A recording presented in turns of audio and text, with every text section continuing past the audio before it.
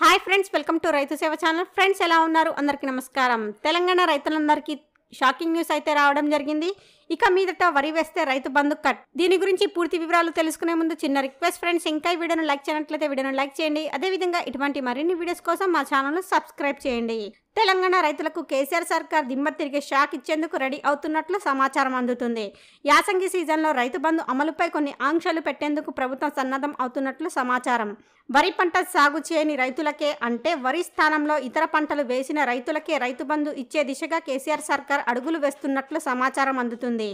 ప్రభుత్వ సూచనలు చేసినప్పటికీ తెలంగాణ రైతాంగం పూర్తిగా వరి ధాన్యాన్ని పండిస్తూ ఉండడంతో ఈ నిర్ణయం తీసుకున్నట్లు సమాచారం. ఈ మేరకు రేపు ప్రగతి భవన్లో రెండు గంటలకు రైతు బంధుపై సీఎం కేసీఆర్ సమీక్ష నిర్వహిస్తున్నట్లు కూడా సమాచారం అందుతుంది.